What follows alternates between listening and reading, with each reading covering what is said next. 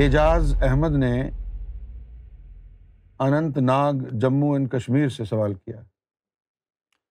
السلام علیکم۔ وعلیکم السلام۔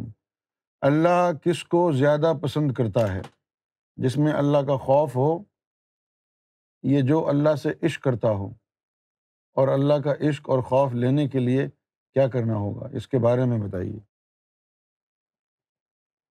اللہ تعالیٰ جو ہے قرآن مجید میں اللہ تعالیٰ نے بہت سی صفات مومنین کی بیان کی ہیں۔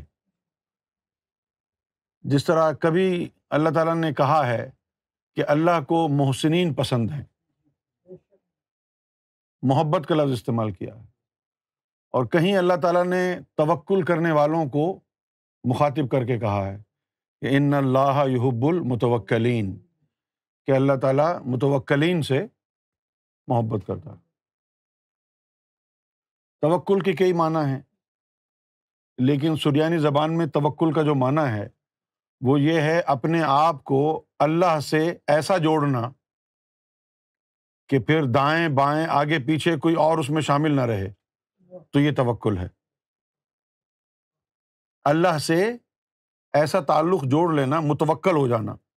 اچھا اب متوکل ہو جانا اس کا جو دوسرا جو اثر ہے، وہ متوکل کا دوسرا اثر معقل بنا دیتا ہے۔ معقل وہ ہوتا ہے کہ کام اللہ کرتا ہے بندے کے ذریعے۔ میں اس کے ہاتھ بن جاتا ہوں، میں اس کے پاؤں بن جاتا ہوں، میں اس کے زبان بن جاتا ہوں جس سے وہ بولتا ہے۔ یہ درجہ جو ہے متوکلین کا ہے۔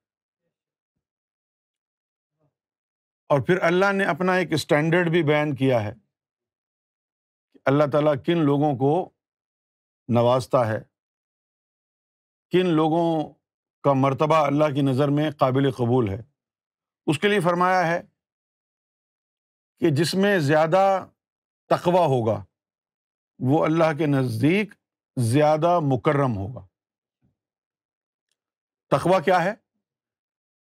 تقوا یہ ہے کہ آپ کے قلب و قالب میں جتنی بھی آلائشیں، جتنی بھی غلازت نفس کی، شیطان کی موجودگی کی اور جو خون میں حرام چلا گیا ہے، اس کی چلی گئی ہیں، اس کو اللہ کے نور کے ذریعے باہر نکال دینا، خارج القلب، خارج الجسم کر دینا اور مکمل طور پر نفس پاک ہو جائے قلب صاف ہو جائے، روح کا اللہ سے تعلق جڑ جائے، تو وہ متقی ہو جاتا رہ گئی بات خوف خدا کی۔ تو خوف خدا جو ہے، وہ تعلق سے تعبیر ہے۔ جب اللہ سے تعلق جڑ جاتا ہے، ایک تو خوف ہوتا ہے جان جانے کا۔ سزا مل جانے کا خوف۔ اور ایک خوف ہوتا ہے، محبت میں کمی واقع نہ ہو جائے۔ ایک خوف ہوتا ہے کہ اس کی نظر التفات میں کمی نہ آ جائے۔ ایک خوف ہوتا ہے کہ وہ آپ سے ناراض نہ ہو جائے۔ تو خوف خدا جو مومنوں کے لیے اللہ نے رکھا ہے، وہ عذاب قبر والا خوف نہیں ہے، وہ جہنم میں جانے کا خوف نہیں ہے۔ وہ خوف ہے کہ مجھے اللہ کی اطاعت اور نبی پاک صلی اللہ علیہ وسلم کی اتباع کرنی ہے، تو اس اطاعت و اتباع میں اگر کوئی کمی رہ جاتی ہے تو وہ اندر سے خوف میں مبتلا ہوتا ہے کہ کہیں نبی پاک ناراض نہ ہو جائیں، کہیں اللہ ناراض نہ ہو جائے، یہ خوف ہے۔ اور یہ خوف کب پیدا ہوتا ہے؟ جب انسان کا کے قلب میں اللہ اور اس کے رسول کا تعلق پیدا ہو جاتا ہے۔ جب تک تعلق نہیں ہوتا تو اس وقت تک پرواہ بھی نہیں ہوتی۔ اور جب تعلق جڑ جاتا ہے، اس وقت پھر پرواہ بھی ہوتی۔ آپ کے گندے کپڑے ہیں، کہیں بھی بیٹھ جاتے ہیں، گندے کپڑے ہوتے ہیں آپ کے تو۔ لیکن جب نہا دھو کے نئے کپڑے پہن لیتے ہیں آپ، تو پھر بڑے دھیان سے بیٹھتے ہیں کہ نہیں یار، ابھی میں نہا کے آیا ہوں، ابھی یہاں نہیں بیٹھوں گا۔ اسی طرح جب تک آدمی کے اندر غرازت اور دل میں شیطان ہوتا ہے، تو اس کو کسی چیز کی فکر نہیں ہوتی۔ لیکن جب آدمی کے قلب میں نور آنے لگتا ہے، نفس میں نور آنے لگتا ہے، تو پھر اسے پرواہ ہو جاتی ہے کہ نہیں یار، اتنی محنت سے میرے قلب میں نور آیا ہے۔ مرشد کی نگاہ کرم ہوئی ہے۔ اتنی محنت کے بعد تھوڑا سا نور پیدا ہوتا ہے، نفس میں تہارت آتی ہے۔ تو اب مجھے گناہوں سے بچنا چاہیے۔ یہ چیزیں اس وقت پیدا ہوتی ہیں جب آدمی کے اندر نور آ جائے، تعلق بلّہ قائم ہو جائے۔ اور جب تک تعلق بلّہ قائم نہیں ہوتا ہے، نور نہیں آتا ہے قلب میں اور نفس میں، اس وقت تک پرواہ بھی نہیں ہوتی، خوف بھی نہیں ہوتا۔ تو جب تک یہ خوف ہے تو یہ خوف جو ہے، وہ ایمان کی نشانی بھی ہے۔ ایک حدیث شریف میں آیا ہے کہ المان بین الخوف ورجا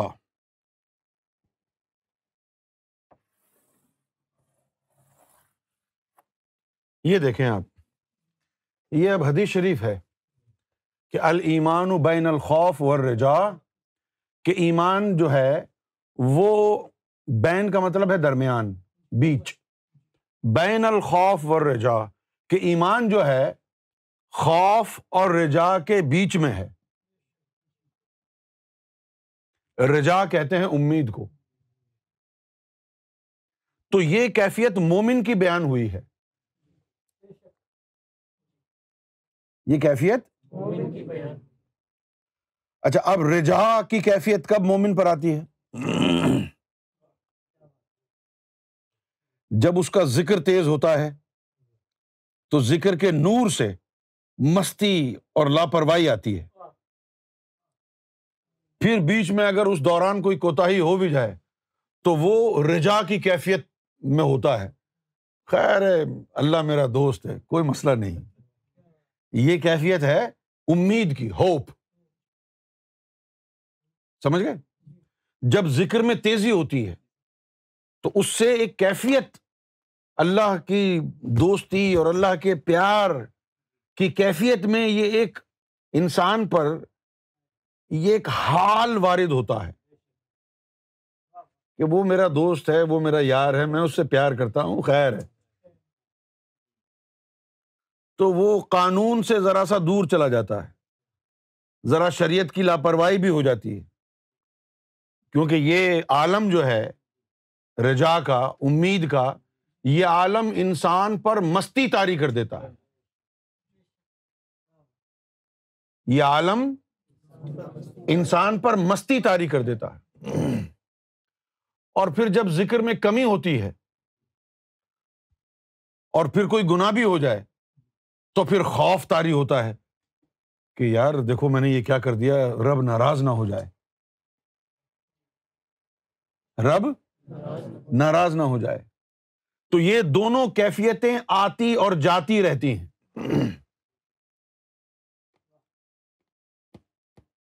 سمجھے آپ؟ یہ دونوں کیفیات یہ ساتھ ہیں۔ کیا ہیں یہ؟ کبھی خوف تاری ہوگا، رب کی ناراضگی کا۔ یہ نہیں کہ آپ کو خوف تاری ہو گیا اب جہنم میں چلے جائیں گے، وہ نہیں۔ رب کی ناراضگی کا۔ کبھی امید۔ بہت بڑا غفور الرحیم ہے۔ کبھی اس کے غفور الرحیم ہونے کا اتنا آپ کو ناز ہوگا کہ آپ لاپرواہی کا شکار ہو جائیں گے۔ لیکن وہ وہ بھی رب کی طرف سے ہے کیفیت۔ اور کبھی جب ذکر میں کمی واقع ہوگی، تو پھر آپ کو یاد آئے گا سری الحساب۔ کہ وہ جو ہے حساب کتاب کا بھی پکا ہے کہیں ایسا ہی نہیں ہو کہ مجھے ہاں پکڑ ہو جائے میری گرفت ہو جائے تو پھر وہ خوف کی کیفیت بھی تاری ہو جاتی۔ لیکن یہ ایمان والوں کے لیے ہے۔ جب آپ اللہ کے دوست بن جاتے ہیں ولی بن جاتے ہیں تو ان کے لیے پھر اللہ تعالیٰ نے قرآن مجید میں وارننگ دی ہے۔ اللہ یعنی خبردار۔ اللہ کا مطلب ہے خبردار۔ اللہ ان اولیا اللہ لا خوف علیہم ولہم یحزنون۔ خبردار ہو جاؤ۔ یہ آیتیں اپنے اوپر ہی فٹ کرنا۔ کہیں ولیوں کے اوپر بھی جا کر تماچا نہیں مارنا کہ تو یہ خوف کیوں نہیں آتا؟ خبردار ہو جاؤ۔ اللہ ان اولیا اللہ لا خوف علیہم۔ ان پر کسی ہی طرح کا خوف نہیں ہے۔ اب اس کا مطلب کیا ہوا؟ اب یہ ذکر کی کمی کی وجہ سے مومن پر خوف تھا۔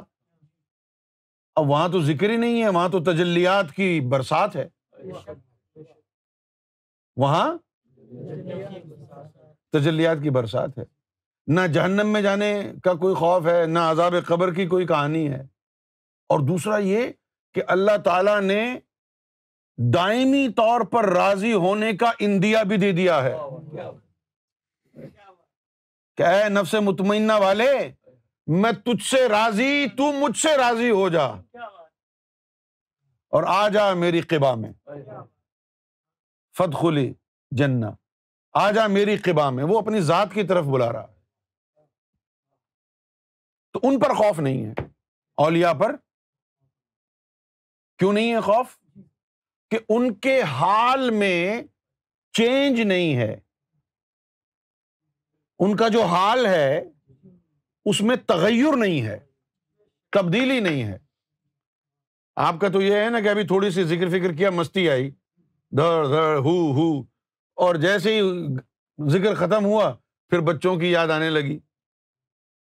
پھر بل دینے ہیں، کام پہ جانا ہے، یہ یاد آنے لگا۔ ولیوں کے اوپر یہ نہیں ہوتا، اس وہ، ہر وقت وہ حال ان کے اوپر رہتا ہے۔ یہ جو درجۂ کمالیت پر پہنچ جائیں، ہر وقت رب مرشد ان کی نظروں میں، ہر وقت ان کے قلب کی حالت ایک جیسی رہتی ہے۔ ہر وقت۔ ان کا یہ جو ہے وہ سی سو۔ اس کو میں اسپرچل سی سو کہوں گا۔ سی سو کیا ہوتا ہے معلوم ہے آپ کو؟ وہ ایک لمبا سا ڈنڈا ہوتا ہے، بیچ میں رکھا ہوتا ہے۔ ایک بچہ اس کونے پہ بیٹھتا ہے، دوسرا اس پہ جو بھاری ہوتا ہے، وہ جو ہے نیچے چلا جاتا ہے اور جو ہلکا ہوتا ہے، وہ اوپر۔ اس کو کہتے ہیں سی سو تو یہ جو ایمان کا سی سو ہے، یہ خوف والا ہی بھاری رہتا ہے ہمیشہ لوگوں کا۔ رجا تو کبھی کبھی آتی ہے، جب میری گفتگو سن کے جاتے ہیں تو چوڑے ہو جاتے ہیں۔